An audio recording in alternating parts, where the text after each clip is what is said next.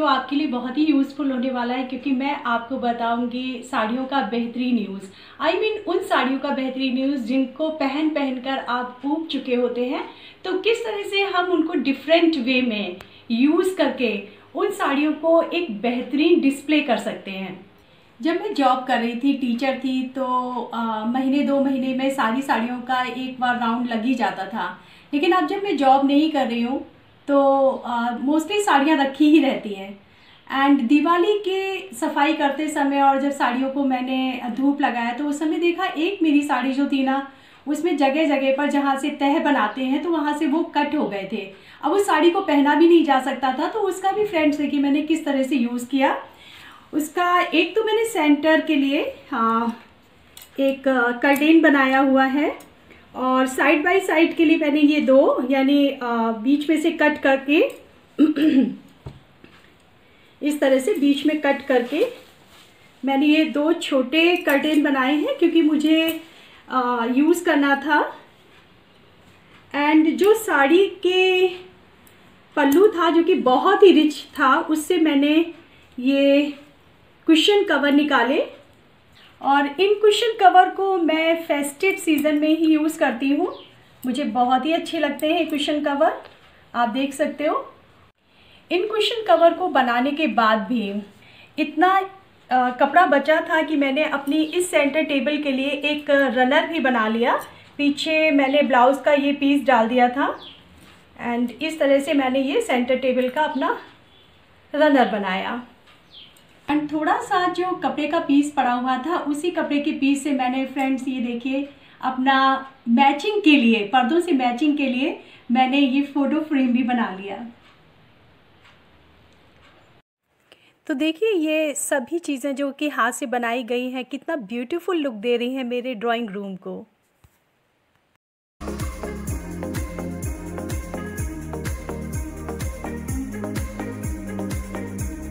Friends अब मैं बात करती हूँ अपनी इस साड़ी की।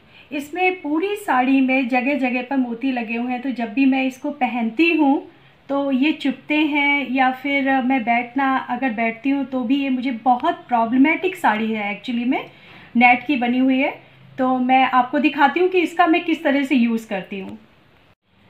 अब मैं कर्टेन बनाने जा रही हूँ और कर्टेन को बनाने के लिए पहला जो प्रोसीजर है वो नेफा बनाना है। तो इसमें चूँकि मोती लगे हुए हैं तो ये मोती की वजह से मैं इसको मशीन से नहीं सिल सकती आ, क्योंकि मशीन क्या जो है ना उससे वर्क इसमें नहीं हो पाएगा आ, इन मोतियों की वजह से।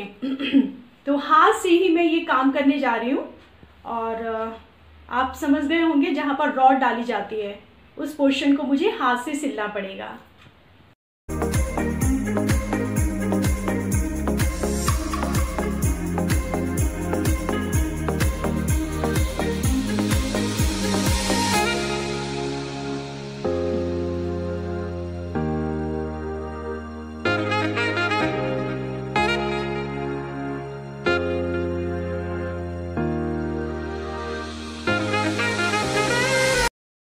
दोनों सिले हुए पर्दों को मैंने एक के बाद एक लगा दिया। इट मीन्स पहला एक आगे और दूसरा पीछे। अब चूँकि पर्दे लाइट शेड में है तो मैंने टेसल वाली अपनी एक लटकन भी बना ली। और फिर ये वेस्ट नोटबुक के दोनों गत्तों को निकाल करके और कट करके कुछ मुझे फ्रेम भी बनाने थे तो वो मैंने बना लिया क्योंकि मुझे अपनी खाली दीवार को डेकोरेट करना है। पर्दों को हाईलाइट करते हुए, ये देखिए मैंने किस तरह से बनाया और ये देखिए कितना प्यारा व्यू आया। लटकन को मैंने साइड बाय साइड लगा दिया और अपनी टेसल से बने हुए क्वेश्चंस को रखा। कितना ब्यूटीफुल ब्यूटीफुल लुक आ रहा है।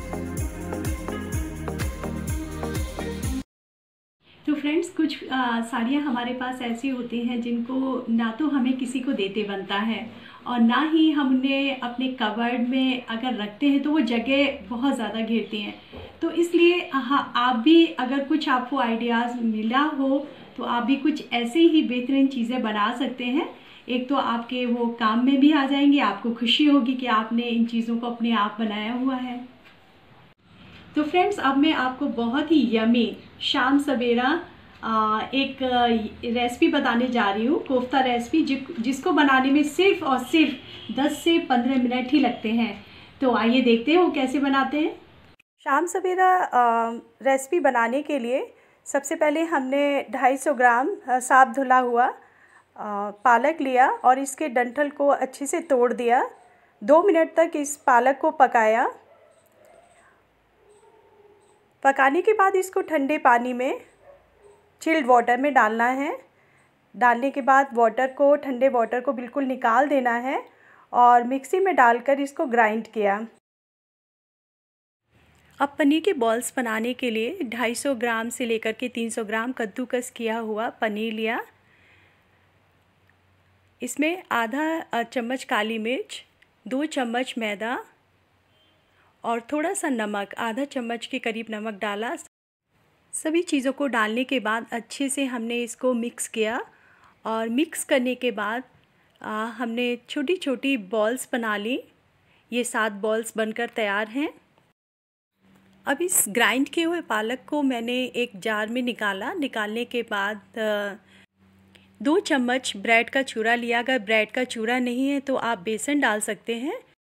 दो से तीन चम्मच बेसन डाल दिया। और थोड़ा सा आमचूर पाउडर, थोड़ा सा रेड चिली, थोड़ा सा नमक, गरम मसाला, भुना हुआ जीरा, थोड़ा सा धनिया पाउडर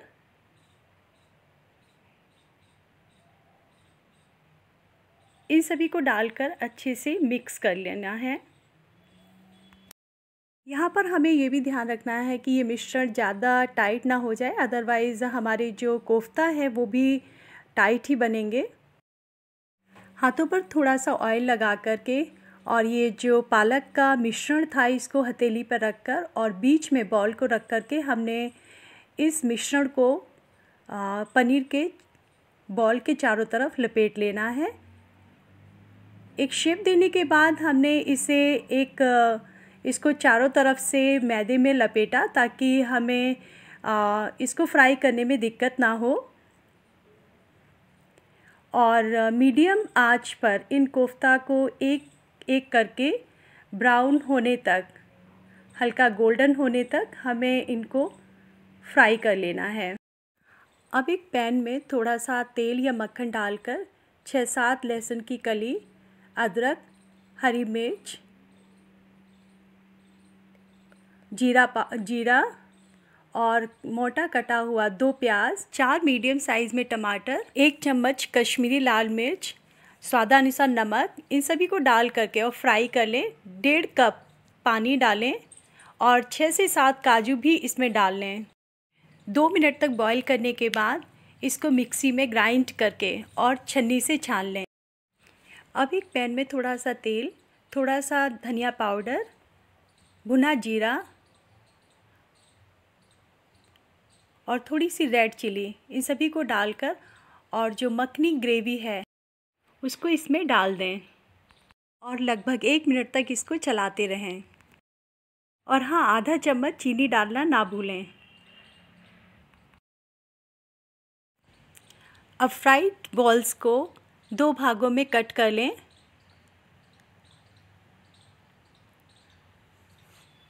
और हमारी ये ग्रेवी में गर्मा गर्म ग्रेवी में आप इसको डेकोरेट कर दें। आप चाहें तो इस डिश को कसूरी मेथी या क्रीम से डेकोरेट कर लें। इस रेसिपी को आप ज़रूर ट्राई करें। ये इतनी टेस्टी बनती है कि आप और आपके फैमिली मेंबर्स इसको बार बार खाना पसंद करेंगे।